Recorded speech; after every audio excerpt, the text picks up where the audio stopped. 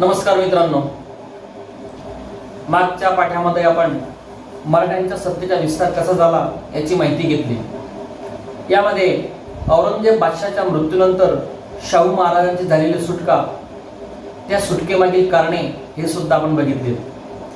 शाहू महाराजांनी स्वतःचा राज्याभिषेक करून घेतला. त्या राज्याभिषेकामुळे निर्माण झालेली परिस्थिती किंवा राज्याभिषेकालाच किंवा शाहू महाराजांनाच महाराणी ताराबाई यांनी मान्यता दिली नाही हेही आपण बघितले. यामुळे मराठा मराठीशाहीचे दोन भाग झाले दोन शक्य झाले किंवा मराठीशाहीमध्ये दोन गट पडलेत एक महाराणी ताराबाईंचा आणि दुसरा छत्रपती शाहू महाराजांचा. याची माहिती आपण मागच्या तासा मागच्या पाठात घेतली.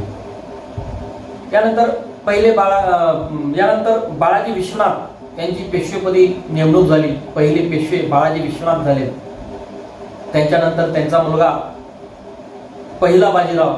या पहिला बाजीरावाची कारकिर्दी सुद्धा आपण बघितली. पहिला बाजीराव उत्तम सेनानी होता. पहिला बाजीराव उत्तम सेनानी होता. आपल्या पराक्रमाने त्यांनी मराठ्यांचे साम्राज्य विस्तारले. मराठ्यांचे वर्चस्व प्रस्थापित केले. त्याने मराठ्यांच्या सत्तेला अखिल भारतीय पातळीवर स्थान मिळवून दिले. अजिंक्य सेनानी म्हणून बाजीरावाकडे पाहिले जाते. बाजीराव अत्यंत शूर होता. त्याच्या काळामध्ये शिंदे होळकर गायकवाड पवार ही घराणी उदयास आली.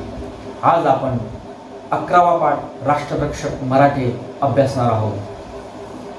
शाहू महाराजांनी बाजीरावानंतर त्याचा मुलगा बालाजी बाजीराव उर्फ नानासाहेब याला पेशवाईची वस्त्री दिली. नादिरशहाच्या आक्रमणानंतर दिल्लीमध्ये अस्थिरता माजली होती. अशा परिस्थितीत उत्तरेच्या उत्तरेमध्ये मराठ्यांची सत्ता स्थिर करणे महत्त्वाचे होते आणि यासाठी नानासाहेब यांनी प्रयत्न केले.